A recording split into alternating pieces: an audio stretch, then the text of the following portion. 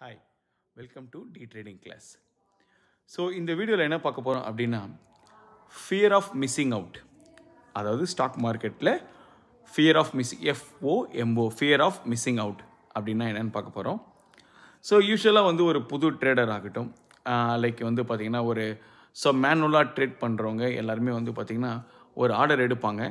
So அந்த order வந்து உங்களுடைய நீங்கள் நினைக்கிற டைரெக்ஷன் மேபி ஒரு கால் ஆப்ஷன்னா மேலேயும் இல்லை புட் ஆப்ஷன்னா கீழே மார்க்கெட் போகும்போது ஸோ உங்களுக்கு வந்து ஒரு ப்ராஃபிட் பர்சன்டேஜ் இருக்கும். யூஸ்வலாக வந்து ஒரு இப்போ ஒரு டவு தௌசண்ட் ருபீஸ் இல்லை ஒரு டூ தௌசண்ட் ருபீஸ் நீங்கள் ப்ராஃபிட் ஏர்ன் பண்ணுறீங்க அப்படின்னா ஸோ உடனே நம்ம என்ன பண்ணுவோம்? பொசிஷன் க்ளோஸ் பண்ணுவோம். பொசிஷனை க்ளோஸ் பண்ண உடனே நம்ம ந- நம்ம எக்ஸாம்பிள் வந்து நீங்கள் ரெண்டாயிரரூவாவில் ப்ராஃபிட் க்ளோஸ் பண்ணியிருக்கீங்க அப்படின்னா ஸோ ஃபர்தராக மேபி ஒரு பத்தாயிரரூபா லாபம் கிடச்சிருந்துருக்கலாம். நம்ம என்ன பண்ணுவோம்? சரி சப்போஸ் மார்க்கெட் ரிவர்ஸ் ஆகிடுச்சுன்னா என்ன பண்ணுறது அப்படின்றதுனால ஒரு அவசரம் ஒரு பதட்டமான ஒரு நிலையில் நம்ம என்ன பண்ணுவோம்?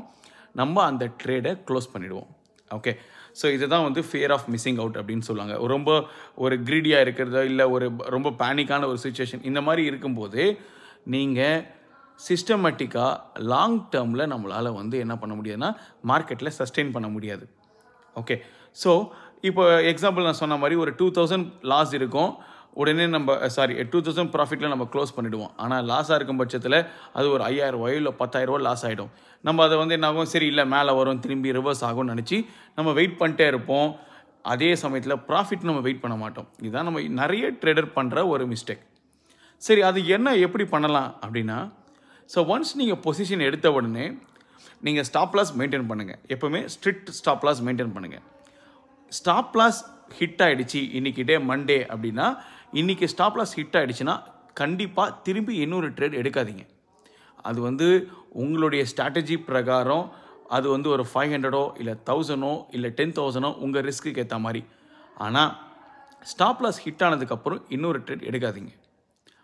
அதே மாதிரி ப்ராஃபிட் டைரக்ஷனில் போகும்போது trail stop loss method use பண்ணுங்கள் trail stop loss method use பண்ணும்போது நீங்கள் ஸோ ஃபர்தராக மார்க்கெட் மூவ் ஆக ஆக நீங்கள் உங்கள் ட்ரையல் ஸ்டாப் லாஸ் பண்ணிட்டே வந்தீங்கன்னா ஸோ ஃபர்தராக நிறைய மூவ்மெண்ட் மேபி ஒரு நான் சொன்ன மாதிரி ஒரு பத்து பாயிண்ட் இல்லைன்னு இருபது பாயிண்ட் கூட நீங்கள் கேப்சர் பண்ணுறதுக்கான பாசிபிலிட்டிஸ் இருக்குது ஸோ இன்னும் ஒரு கொஞ்சம் ப்ராஃபிட்டபுளாக இருக்கும்.